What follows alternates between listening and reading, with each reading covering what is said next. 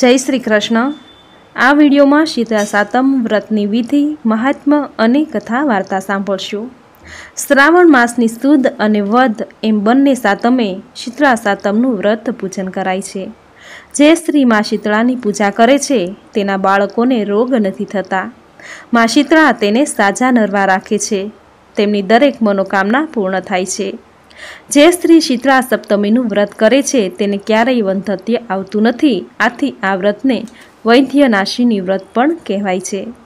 માતા શીતળા એ શીતળતા અને સ્વચ્છતાની દેવી છે. તેને શીતળતા અતિ પ્રિય છે. આથી આ દિવસે આગલા દિવસે રાંધેલું ટાઢું જમવાનો મહિમા છે. શીતળા સાતમના દિવસે ચૂલો નથી પ્રગટાવાતો. એક માન્યતા અનુસાર આ દિવસે ચૂલો પ્રગટાવાથી માં શીતળા નારાજ થઈ જાય છે. આથી રાંધણછઠના દિવસે રાંધેલું ટાઢું આ દિવસે જમાય છે. માં શીતળાને સ્વચ્છતા પ્રિય છે. આથી તેમણે સુપડું અને સાવરણી જેવા સાધનો પોતાની પાસે ધારણ કર્યા છે. સુપડું એ સ્વચ્છતાનું અને શુદ્ધિનું પ્રતીક છે. તેમજ સાવરણી એ સ્વચ્છતા અને સુઘડતાનું પ્રતીક છે. માં શીતળા તેની મહત્તા દ્વારા એ સમજાવે છે કે અનાજને સુપડાથી સાફ કરી રાંધવામાં આવે અને ઘરને સાવરણીથી સ્વચ્છ કરી સાફ સુઘડ રાખવામાં આવે તો ઘરમાં ક્યારેય રોગ કે બીમારી પ્રવેશ પણ નહીં કરે. આમ શીતળા સાતમના દિવસે માં શીતળાએ ધારણ કરેલ સાવરણી અને સુપડાની પણ પૂજા કરાય છે. શીતળા સાતમનું વ્રત કરનાર બહેનોએ સવારે વહેલા ઉઠી ઠંડા પાણીથી સ્નાન કરવું, સ્વચ્છ વસ્ત્રો ધારણ કરી મા શીતળાની ઓમ શીતળાય નમઃ મંત્રનો ઉચ્ચાર કરી સ્થાપના કરવી. ઘરનો ચૂલો, અનાજ દળવાની ઘંટી, સુપડું, સાવરણી તથા પાણીના માટલાની પૂજા કરવી. આ દિવસે ચૂલો પ્રગટાવો નહીં. આ વ્રતમાં કોઈ એકટાણું કે ઉપવાસ કે જાગરણ કરવાનું નથી હોતું. માત્ર ટાઢું જમીને આ વ્રત કરાય છે. રાંધણ છઠના દિવસે રાંધેલું ટાઢું આખો દિવસ જમવું. આથી આ સાતમને ટાઢી સાતમ પણ કહે છે. આમ આ દિવસે શીતળામાનું શ્રદ્ધાથી વ્રત પૂજન કરી જે સ્ત્રી આરાધના ઉપાસના કરે છે, આજના દિવસે મા શીતળાના વ્રતની કથા સાંભળે છે, શીતળામાં તેના બાળકોની રક્ષા કરે છે. તેનું સૌભાગ્ય અખંડ રાખે છે, તેમજ તેની દરેક મનોકામના પૂર્ણ કરે છે. તો મિત્રો, આ હતી વ્રતની વિધિ અને મહાત્મા. હવે સાંભળશું વ્રતની કથા. બોલો માં શીતળાની, જય. ઈશ્વરનગર નામે એક ગામમાં એક ડોશી તેના બે દીકરાની વહુઓ સાથે રહેતી. મોટી વહુ બહુ જબરી, કજિયાખોર અને ઈર્ષ્યાની ભરેલી. વાત વાતમાં વાંકું પાડતી, જ્યારે નાની વહુ ઘણી ભલી ભોળી અને પારકાના દુઃખે દુઃખી થનારી. પવિત્ર શ્રાવણ માસ આવ્યો. રાંધણ છઠના દિવસે નાની વહુ રસોડે રાંધવા બેઠી અને રાત સુધી રાંધતી રહી. પછી ચૂલો ઠારવાનો વિચાર કરતી હતી. ત્યાં પારને પોટેલો નાનો છોકરો રડવા લાગ્યો. સાતે કામ પડતા મૂકી એ નાની વહુએ છોકરાને ખોળે લીધો. જરા આડા પડખે થઈ દિવસ આંખાનો થાક હોવાથી જરાક આંખ મળી ગઈ અને ચૂલો ઠારવાનો રહી ગયો. અડધી રાત પછી શીતળામાં ઘેર ઘેર ફરવા નીકળ્યા. ફરતા ફરતા નાની વહુના ઘેર આવ્યા અને ચૂલામાં આળોટવા માંડ્યા. ત્યાં તો શરીરને ઠંડક વળવાને બદલે કાળી લાઈ લાગી. અને શીતળામાં દાઝી ગયા. આથી માને ઘણો ક્રોધ આવ્યો. તરત જ નાની વહુને શ્રાપ દીધો, હે મૂર્ખ સ્ત્રી, જેમ મારું શરીર બાળ્યું તેમ તારું પેટ બળજો. નાની વહુ સવારે ઉઠી, ચૂલા તરફ નજર કરી તો ચૂલો સળગતો હતો અને પડખામાં સૂતેલો છોકરો બળીને ભડથું થઈ ગયો હતો. નાની વહુની આંખમાંથી શ્રાવણ ભાદરવો વરસવા લાગ્યો. એ જાણી ગઈ કે જરૂર પોતે શીતળામાના દોષમાં આવી છે. માતાએ શ્રાપ આપ્યો છે. એ તો રડતી રડતી સાસુ પાસે ગઈ. બધી વાત કરી. સાસુએ ગળગળા અવાજે આશ્વાસન આપતા કહ્યું, વહુ, ધીરજ ધર. શીતળામા પાસે જઈને તારા છોકરાનું જીવન માંગજે. મા તો દયાળુ છે. જરૂર તારા પર કૃપા કરશે. નાની વહુ સાસુના આશીર્વાદ લઈ છોકરાને સુંડલામાં નાખી શીતળામાનું રટણ કરતી જાય. રસ્તામાં બે તલાવડીઓ છલોછલ ભરેલી હતી. કિનારા પર પક્ષીઓ બેઠેલા, પણ કોઈ પાણી પીવે નહીં. મનુષ્ય કે પશુ પક્ષી કે પારેવા, જે કોઈ આ બે તલાવડીનું પાણી પીતું, તે મરણને શરણ થતું. નાની વહુને સૂંડલો લઈને જતી જોઈ તલાવડી બોલી બાય રે બાય, ક્યાં હાલી? નાની વહુએ શીતળામાના કોપની વાત કરી અને માની કૃપા મેળવવા જાઉં છું, એમ કહ્યું. ત્યારે તલાવડી બોલી બહેન, અમારું પણ એક કામ કરજે. અમારા એ વાતે સો પાપ છે કે કોઈ અમારું પાણી પીએ તો મૃત્યુને પામે છે. માં મળે તો અમારા દુઃખનું નિવારણ પૂછજે. નાની વહુ હા પાડીને આગળ વધી.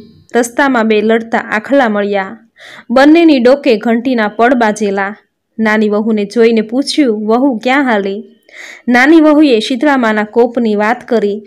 ત્યારે આખલા બોલ્યા અમારું એક કામ કરજે. અમે સદાય લડ્યા જ કરીએ છીએ. અમારી ડોકે આ ઘંટીના પડ છે, તે કેમય કરીને છૂટા પડતા નથી. તો અમારા એવા તે શું પાપ છે, જેથી અમારા પાપનું નિવારણ પૂછતી આવજે. નાની વહુએ હા પાડી. પછી આગળ ચાલી. થોડેક આગળ ચાલી, ત્યાં બોરડીના ઝાડ નીચે એક ડોશી દિવેટ જેવા વાળ બે હાથે ખંજવાળતી બેઠી.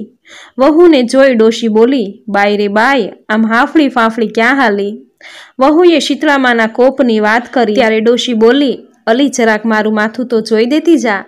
નાની વહુને ઉતાવળ હતી, પણ એ ઘણી દયાળુ હતી. તેણે સુંડલો નીચે મૂકી છોકરું ડોશીમાના ખોળામાં આપી, એ તો મડી માથું જોવા. જેમ જેમ વહુના હાથ ડોશીના માથામાં જુએ, જુઓ કાઢવા લાગ્યા, તેમ તેમ ડોશીના હાથ છોકરાના શરીર ઉપર ફરવા માંડ્યા. થોડીવારમાં તો વહુએ ડોશીના માથામાંથી જુઓ વીણીને માથું ચોખ્ખું કરી નાખ્યું. માથામાંથી ખંજવાળ મટી ગઈ અને ડોશી બોલ્યા હાશ દીકરી, તે મારા માથામાંથી ખંજવાળ મટાડી, જેમ મારી પીડા ઠારી છે, તેમ તારું પેટ ઠરજો. જ્યાં ડોશીમાં આટલું બોલ્યા કે ખોળામાં છોકરું ઉવા ઉવા કરી રડવા લાગ્યું. છોકરાને રોતું જોઈ વહુ તો હરખ ઘેલી થઈ ગઈ અને એના મનમાં આનંદ સમાતો નથી. પણ થોડી જ વારમાં તેને વિચાર આવ્યો કે માનો કે ન માનો, આ ડોશીમાં તો એ શીતળામાં જ છે. એના પગે આળોટી પડી, બસ, માં, હું તમને જોઈ ગઈ છું. મને માફ કરો, માતાજી, મારી ભૂલ હું કબૂલ કરું છું. તમે મારી ઉપર દયા કરી, મને માફ કરી. મારો દીકરો સજીવન કર્યો, નહીં તો મારું શું થાત? આમ કહી રડવા લાગી. ત્યારે શીતળામાં બોલ્યા, રડ નહીં, દીકરી. મારું વ્રત કરનારને બધી રીતે ધ્યાન રાખવું જોઈએ. વ્રત અખંડ રહેવું જોઈએ. વિધિ પ્રમાણે વર્તવું જોઈએ. એમાં જરાક ભૂલ ન થાય તેનું ધ્યાન રાખવું જોઈએ. જરાય ભૂલ થઈ તો વ્રત ફળે નહીં અને શાપ લાગે, પાપ લાગે. માટે હવેથી ધ્યાન રાખજે. જા સુખી થા, તને મારા આશીર્વાદ છે. શીતળામાના આશીર્વાદ લઈ, વહુ પોતાના સજીવન થયેલા દીકરાને કાખમાં નાખી જવા તૈયાર થઈ. અને બે હાથ જોડી બોલી, માતાજી, રસ્તામાં આવતા આવતા બે તલાવડી છે. નિર્મળ જળ, છલોછલ પાણી છે. ટોપરા જેવું મીઠું પાણી છે, પણ કોઈ છાલકું પાણી પીતું નથી, કોઈ તલાવડી સામે જોતું નથી. તેના પાપનું નિવારણ શું? તે આપ દયા કરીને મને કહો.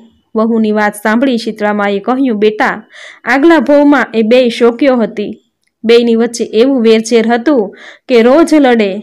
ઘેર દૂધણા હતા, તેથી વલોણું હતું. અને છાસ થાય તો છાસ કોઈ આડોશી પાડોશી અતિથિ અભ્યાગત લેવા આવે. ત્યારે એ છાસમાં છલોછલ પાણી નાખીને આપે. એ પાપના લીધે એનું પાણી આજે કોઈ પીતું નથી. માટે હવે તું જઈને એમાંથી ખોબો પાણી પીજે, એટલે એના પાપનો નાશ થશે. પછી તો તલાવડીના પાપનું નિવારણ સાંભળી ફરી વહુએ બે હાથ જોડી માતાજીને કહ્યું, માતાજી, ત્યાર પછી રસ્તામાં આવતા બે આખલા મળ્યા. બંને આખલા આખો દિવસ સામ સામે લડતા જ હોય છે. અને એ બંનેના ગળામાં ઘંટીના પડ લટકે છે. એના પાપનું નિવારણ શું છે તે તમે કહો.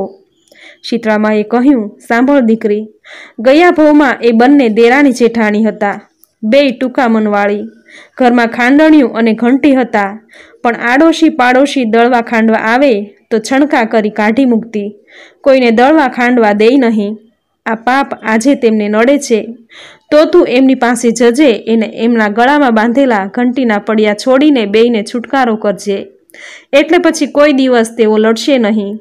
આમ આટલું કહી શીતળામાં આશીર્વાદ આપી અલોપ થઈ ગયા. વહુ તો પોતાના સજીવન થયેલા દીકરાને લઈ ઘેર આવવા ચાલતી થઈ. રસ્તામાં બે આખલા મળ્યા. બાઈ રે બાઈ, સોંપેલા કામ કર્યા, અમારા પાપના નિવારણ જાણ્યા. વહુ કહે, હા, ગયા જન્મમાં તમે બે દેરાણી જેઠાણી હતા. ઘરમાં ખાંડણિયું ઘંટી હોવા છતાં કોઈને દળવા ખાંડવા દેતા ન હતા અને છણકા કરી કાઢી મૂકતા. તે પાપ આજે તમને નડે છે અને તેથી તમે બંને આખો દિવસ લડ્યા કરો છો. આમ કહી વહુએ બેયના ગળે બાંધેલા ઘંટીના પડ છોડી નાખ્યા અને બંને લડતા બંધ થઈ ગયા. વહુ તો આગળ વધી, આગળ જતા રસ્તામાં પેલી બે તલાવડી આવી. તલાવડી પાસે પહોંચતા વહુએ તલાવડીને આગલા જન્મની વાત કહી અને કહ્યું, બહેન, ભગવાન પાસે તો ચોખ્ખો ન્યાય છે. કે જેવું કરો, એવું ભરો એ ભાવના ભૂલશો નહીં. ખાખરો વાવવાથી ખીચડી મળે નહીં. દૂધના દૂધમાં અને પાણીના પાણીમાં એ માનવું ભૂલશો નહીં. માટે હવે ધ્યાન રાખજો બહેનો, ભૂખ્યાને અન્ન અને દુખિયાને જે યથાશક્તિ પ્રમાણે મળે તે જરૂર આપજો.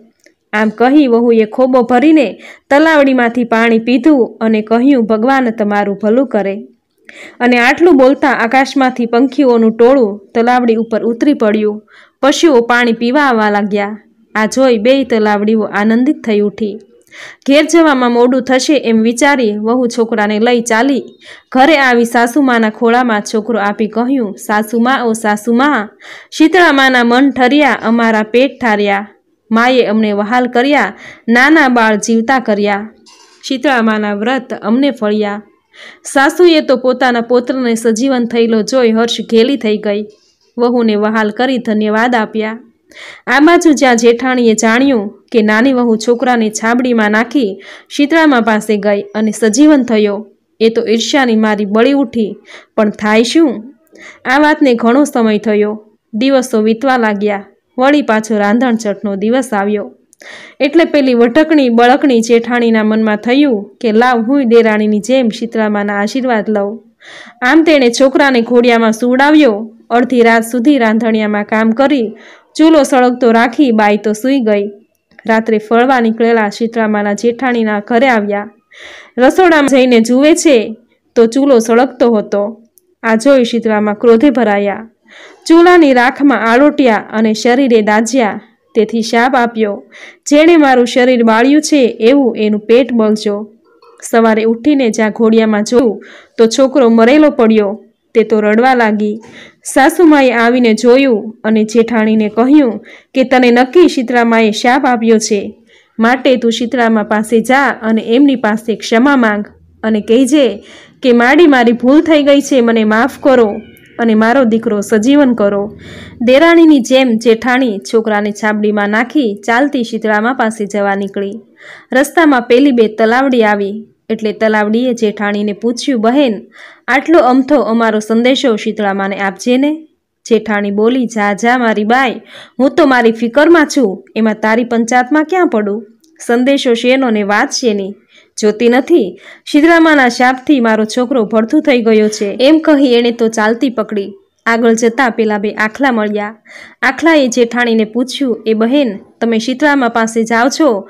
તો માને અમારો સંદેશો પણ આપજો ને? જેઠાણીએ છણકો કરતા કહ્યું, મરને મારા રોયા, હું કાંઈ નવરી નથી, તે તમારા સંદેશા લઈ જાઓ. આમ પગ પછાડી એ તો ચાલી. જતા જતા રસ્તામાં એક ઝાડ આવ્યું. ઝાડ નીચે ડોસીમાં બેઠા છે.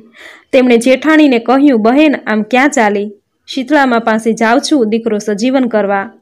ભલે માડી જા, પણ જતા જતા મારા માથામાંથી જૂ કાઢતી જા. ભગવાન તારું ભલું કરશે. પણ આ તો અભિમાનનું પૂતળું, ઈર્ષ્યાનો ભંડાર હતો. એ કંઈ સેવા કરે? એટલે તરત જ એ બોલી, એ ડોશી જોતી નથી. મારો દીકરો મરેલો પડ્યો છે અને શીતળામાં હજુ મળ્યા નથી. તને માથે જૂ છે તો બેઠી બેઠી માથું ખંજવાળે રાખ. અહીં કોઈ નવરું નથી તારું માથું જોવા. આમ કહી જેઠાણી મોં મચકોડતા આગળ ચાલી. ત્યારે પેલા ડોશીમાએ કહ્યું, ઓ બાય માથું જો નહીં તો કાંઈ નહીં, પણ જરા હાથ તો ફેરવતી જા. પણ કોણ સાંભળે? આમ આખો દિવસ અને આખી રાત જેઠાણી શીતળામાની શોધ કરી, પણ એમ કાંઈ શીતળામાં મળે? માટે બહેનો દેખા દેખી કે કોઈની ઈર્ષ્યાથી બળીને એવું કોઈ કાર્ય ન કરવું, કે જેથી જેઠાણી જેવું થાય. કર્મ આપણે કરીએ છીએ અને તેનું ફળ પણ આપણે જ ભોગવવું પડે છે. કોઈનું સારું થતું હોય તો ટાપુ ટીપું કરીને કામ કરવું, પણ નકારો ન કરવો. બને તો દાન દક્ષિણા આપવી, ભૂખ્યાને ભોજન આપવું આમ કરવાથી માતાજી આપણા ઉપર ખુશ રહેશે. જેઠાણી શીતળામાને ઓળખી ન શકી અને રખડી રખડીને રોતી કકળતી ઘેર પાછી આવી. સાસુ પાસે ઢગલો થઈને પડી. સાસુએ તેને શિખામણ આપી કે, વહુ, અજાણતા થયેલી ભૂલ માફ થાય છે, પણ જાણી જોઈને કરેલી ભૂલ કદી માફ થતી નથી. અને એમાં વળી તારો સ્વભાવ, જેવું કરો તેવું ભરો, એ ભાવના ભૂલશો નહીં. જય શીતળામાં જેવા નાની વહુને ફળ્યા, તેવા તમારું આ વ્રત કરનારને, વ્રતની કથા સાંભળનારને, લખનારને, વાંચનારને, કહેનારને સૌને ફળજો. સૌના બાળકોની રક્ષા કરજો. સૌની મનોકામના પૂર્ણ કરજો. જય શીતળામાં તો મિત્રો, આ હતી શીતળા સાતમ વ્રતની વિધિ મહાત્મા અને કથા વાર્તા જે કોઈ સ્ત્રી પૂરી શ્રદ્ધાથી સાધન પૂજા અને કર્મ પૂજાનું મહત્વ સાચા અર્થમાં સમજી પૂજા વિધિ કરે છે, તેના ઉપર આદ્ય શક્તિ માં શીતળા અતિ પ્રસન્ન થાય છે અને આજીવન શીતળતાની સુખદ અનુભૂતિ થાય છે. તો મિત્રો, આજના આ વિડીયોમાં શીતળા સાતમ વ્રતની આ સુંદર કથા સાંભળવી તમને જરૂર ગમી હશે. તો વિડીયોને લાઇક કરી કોમેન્ટમાં જય શીતળામાં જરૂર લખજો. ચેનલ સબસ્ક્રાઈબ કરી બાજુમાં બેલ આઇકન જરૂર પ્રેસ કરજો. આવી જ નવી ધાર્મિક માહિતી, નવા ધાર્મિક વીડિયો સાથે ફરી મળીશું. ત્યાં સુધી આપ સૌને મારા જય શ્રી કૃષ્ણ.